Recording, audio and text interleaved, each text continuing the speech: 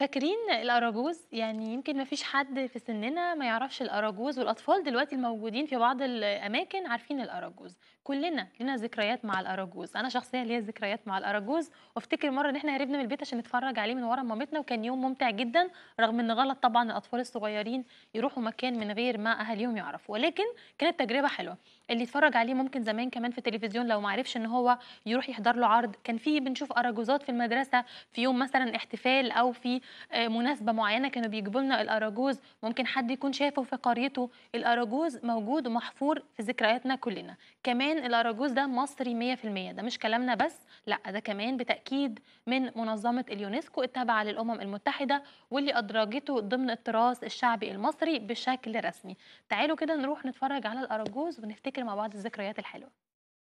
ده أراجوز المدارس ده نورت المجال. فارس ولا زي فارس أواجه لا أوالي داري بحالنا ودارس وعلى جروح روحنا دايس وهيحكي لنا حكاية عن واد لايص وحايس واحكي يا ابن المدارس.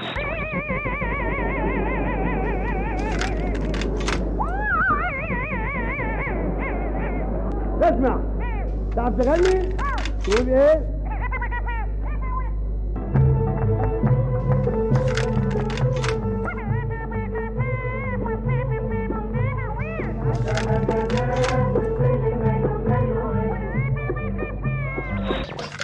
يا حضرة الأراجوز قولي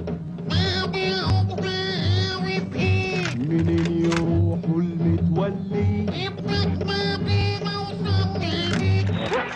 يا ابن المدارس.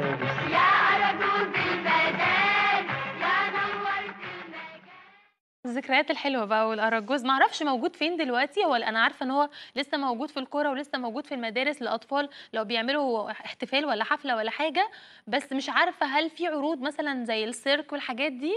أعتقد زمايلي بيقولوا لي وزارة الثقافة بتعمل عروض لأراجوز، أنا يعني لو في عرض قريب أعتقد إن أنا هاروح هيكون في مسرح العرايس إن شاء الله.